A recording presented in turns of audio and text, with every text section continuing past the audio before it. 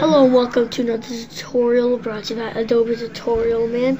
Today I'll be teaching you how to, to uh, use a shape tween. It's a very easy um, thing to do on Adobe. And yes, you can do this with uh, Flash CS4. I'm just haven't done it yet, but I'm pretty much, I'm pretty sure my next tutorial is going to be CS4 probably. So yeah, let's get started. You can use either ActionScript 3.0 3.0 or 2.0. I'll use 2.0. And I'm going to do a uh, pretty much a blue a blue ball.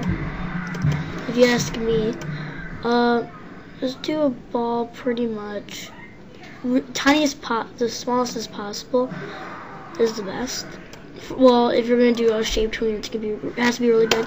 Uh, we'll name it uh, small ball underscore MC, and registration is gonna be in the middle. I'm gonna go inside of it, and I'm going to make it up to uh, 100.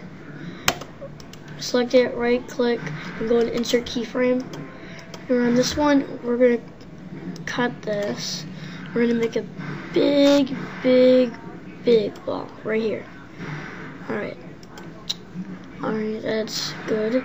Right here, we're gonna right click and uh, click create a shape tool. This will um, allow the shape to expand as it goes through.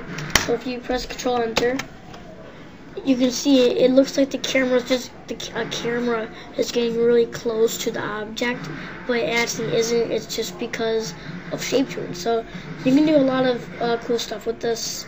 Um, say uh, visual a uh, a screen, uh, a pirate scene, and it's far. It's really far away.